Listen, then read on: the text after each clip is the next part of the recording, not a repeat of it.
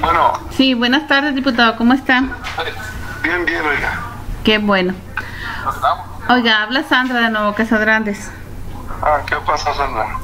Mire, Yaco, sobre lo que está ahorita en la aprobación del presupuesto, sobre las manifestaciones que hay afuera de la Cámara de Diputados y sobre pues lo que se está pidiendo, 24 mil millones para el campo.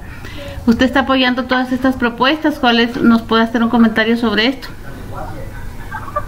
Pues mire, hemos estado generando ahí algunos diálogos entre, entre la Comisión de Diputados que, que viene a, a- a- a negociar esto y, y la- y las autoridades pues, de Hacienda, de, de SADER, de los diferentes bancos de desarrollo, pues con todo el sector del gobierno, ¿no? Ajá. y, y bueno, pues andamos pues, realmente preocupados porque, porque en ratos no hay mucha sensibilidad de parte del gobierno para escuchar y, y- y atender esto, ¿no?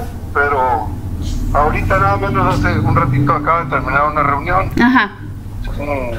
No la concluimos, la dejamos pendiente para continuarla mañana, para que se integren otros, otros, otros funcionarios Ajá. a la reunión y, se va a continuar el día de mañana a las 10 de la mañana. Entonces, obviamente nosotros no nos vamos a levantar de aquí antes del viernes si no encontramos una, una, una solución. La aprobación del presupuesto para cuándo sería, Yaco? Bueno, la, la fecha fatal del presupuesto, del presupuesto es el próximo viernes a las 12 de la noche. Se vende el plazo. Pero nosotros pudiera, se pudiera la Cámara de Diputados, mm, tenemos una, una reunión abierta Ajá.